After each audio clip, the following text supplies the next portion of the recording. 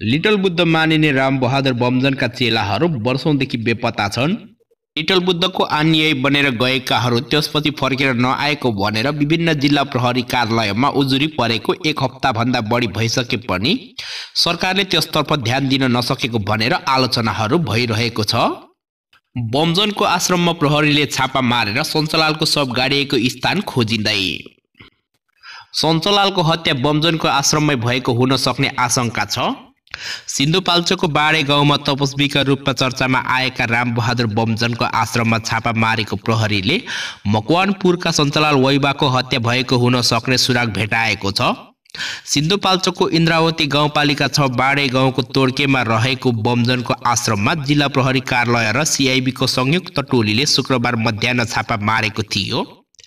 तर विभिन्न किसिमका सङ्गीन आरोप लागेका भनिएका बमजनमाथि भने हालसम्म प्रहरीले कुनै पनि किसिमका कारवाही अगाडि नबढाएको प्रहरी अधिकारीहरूले जानकारी दिएका छन्।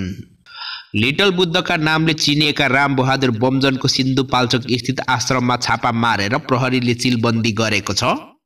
जिल्ला प्रहरी कार्यालय सिन्धुपाल्चोकका प्रहरी उपरीक्षक मुकुन्द मरासिनीका अनुसार जिल्ला स्थित प्रहरी कार्यालय र प्रहरी मुख्यालय काठमाडौँबाट आएका झन्डै तिसजना सम्मिलित प्रहरीका एउटा टोलीले सिन्धुपाल्चोकको बाडेगाउँ स्थित आश्रममा अनुसन्धान गरिरहेका छन्।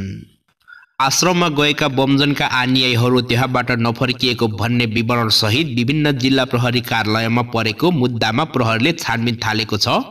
प्रहरीले आश्रममा भइरहेको अनुसन्धान नसकिएसम्म उक्त क्षेत्र सिलबन्दी गरेर काम कारवाही अगाडि बढाएको जानकारी दिएका छन्। तर बमजन आफै भने सिन्धुपाल्चोकमा नरहेको प्रहरीले पुष्टि गरेको छ। हिजो आज उनी सिन्धुपाल्चोक स्थित आश्रममा बस्ने गरेको बताइएको छ।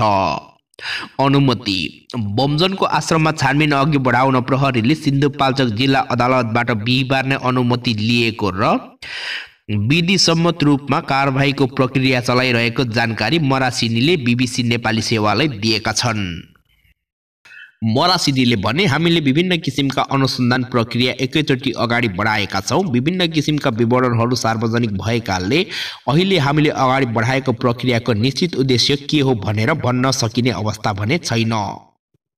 कानुनी प्रक्रिया पुरा गरेको र व्यवस्थित रूपमा सुरक्षा अधिकारीहरू परिचालित भएकाले आश्रममा बस्दै आएकाहरू र स्थानीय बासिन्दाहरूको कुनै अवरोध छैन।